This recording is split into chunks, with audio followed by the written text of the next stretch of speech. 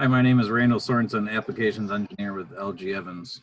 I have 15 years of experience in the same shop with the last one and a half years with LG Evans. I got involved in Swiss bar-fed machining because of the constant advancement in technology compared to conventional machining. Starting with just a pick of a current MITS control panel, we have mode buttons at the top which compare to a FANUC mode selector switch. What's nice about the Citizen Control though is you cannot change modes while a program is running, whereas on some mode selector switches, you can move it at any time, potentially crashing your machine. Below that are what I refer to as display buttons, which simply change the display you are looking at. If you have a Citizen Cav bar feeder, the power on button is here as well. Well, this is different from a typical FANUC control panel. It is not hard, it is just different. There are many shortcuts within the control panel when editing, for instance, Shift page up or shift page down takes you to the beginning or end of the program.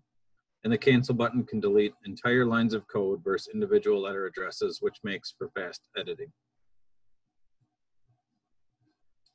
Here we have the preparation page. This has tool setting dimensions, which are like your FANUC geometry values. Core being the y-axis, diameter being the x-axis, and longitude being the z-axis.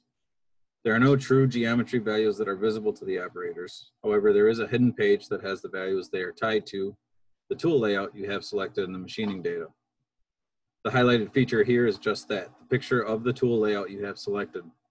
This data is tied to each and every program via the machining data and will change whenever a different program is selected. This gives you the ability to have completely different programs with completely different tool layouts and the machine will always know what is in the machine based off the program selected. In check mode, the first soft key I want to highlight is high speed check.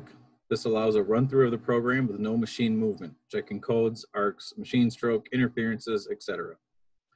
Next to that is handle mode, which proves out the program with machine movement via the pulse coder and gives you the ability to go backwards if necessary. While the access timing is not perfect, this gives you a great view of the final program machine movement. With a two spindle machine that can handle many tools, a lot is going on in a small space. To the right, we have the correct soft key, which allows edits while the program is running anywhere past the cursor that has not ran yet. In the Swiss world, there is so much going on with queuing and such, you cannot reset the program and pick up where you left off via an N search, like a typical FANUC control. This allows you some editing while the program is running. An auto mode is just that. It is the production mode for continuous running. It does not have the features listed above as they are specific to check mode. That is the, what makes check mode so unique. In MDI, you can perform any basic M or G codes. There are no sync or superimposition codes available here due to the amount of queuing and positioning that is needed for those modes. Highlighted in this first slide is channel one, MDI operations, along with the code list soft key that will be shown in more detail on the edit display slide. One of my favorite features is the ability to cut, copy, paste from a main program into MDI, which makes testing or sampling code very easy. Here's the manual mode screen, which is pretty self-explanatory. The main feature here is you get a real picture of the axis your cursor is on, as well as the feed direction for that axis. When I am training, I train operators never to guess at which axis or axis direction they are moving because of what's available here. It may just be a simple picture, but very powerful when first learning the machine. Here we have the X1 axis, uh, which is your gang slide up and down. Next we have the Z1 axis, which is your main spindle forward and back.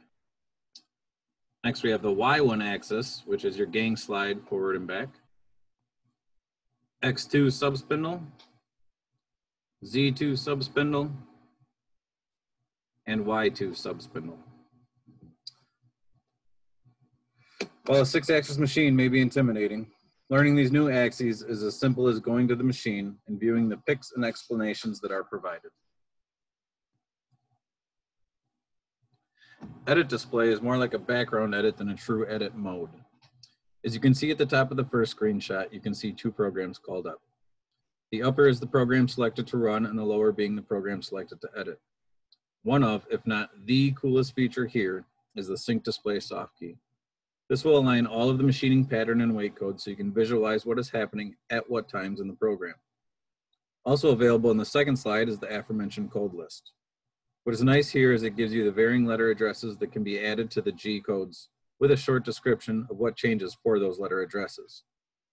In this case, we have G4 selected, which is a standard dwell command. Within the G4 command, we can use U for full seconds, so G4 U 1.0 for a one second dwell, or P for milliseconds, which would be G4 P 1000. Finally, we have eco mode, and there are two features I would like to touch on. The first being the machine's ability to regenerate power, much like regenerative braking on today's electric and hybrid vehicles. Anytime the main, subspindle, or a rotary tool is decelerated, the machine stores the regenerated power. It is not much, but it is something, and it is tracked via the first graph. The second feature being the machine's ability to track any and all functions of the machine. Based off a 24-hour period, the second graph shows a percentage for when the machine was in auto mode, setup, alarm state, on but no operation, and powered off. Overall, there are many features unique to the Citizen Mitsubishi control, from something as simple as an axis picture to something as complex as aligning sync codes. The Citizen Mitsubishi world is forever evolving and improving. Thank you for your time.